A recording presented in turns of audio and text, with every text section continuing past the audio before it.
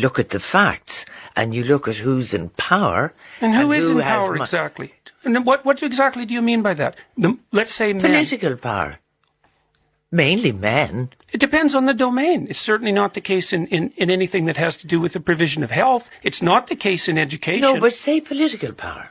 at say the very upper Mr. echelons, Trump. Yes. at the very upper echelons, Yeah. polit, polit, politics are dominated by men. What's the point? Does that make it world, a yeah. patriarchal tyranny? Well, it certainly makes it patriarchal to a certain extent. Well, and so when women participate in that patriarchal process, is that also a patriarchy? So when we have healthcare system that's dominated by women, as we do now, is that a patriarchy?